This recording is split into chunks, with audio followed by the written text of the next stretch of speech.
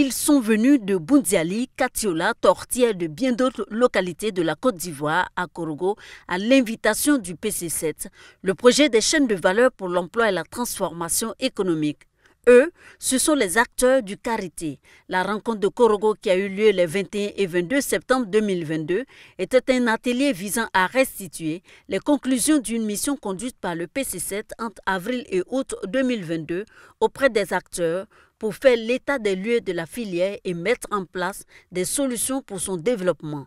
On a une chaîne de valeur du Carité en Côte d'Ivoire qui est euh, au niveau de la transformation dominée par euh, des usines euh, qui sont artisanales ou semi-artisanales.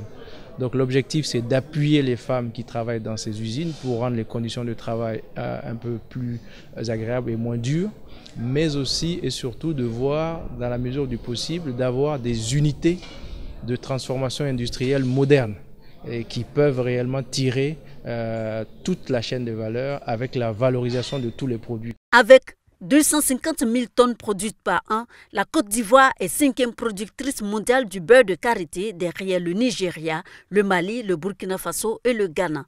Malgré ce rang, la filière karité, principalement animée par les femmes, évolue encore dans l'informel et doit faire face à de nombreux défis. Cette mission du PC7 et les perspectives qu'elle ouvre est donc pour les 150 000 principales actrices de la filière un véritable soulagement. Nous espérons que cette initiative va aboutir, aboutir à de bonnes choses, aboutir à de belles réformes qui vont permettre à nos mamans d'améliorer leurs conditions de vie, de subvenir aux besoins de leurs différentes familles.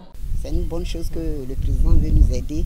En tout cas, vraiment, il voit dans nos souffrances de ce qui se passe. C'est vrai qu'il n'est pas sur le terrain, mais au moins il sait la souffrance des femmes. Et vraiment, on le remercie beaucoup.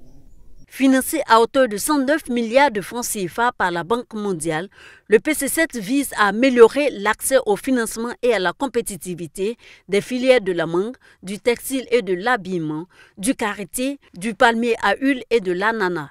Avec les 21 milliards de francs CFA qui lui sont consacrés, le karité ivoirien devrait d'ici 2028 être plus compétitif sur le marché international.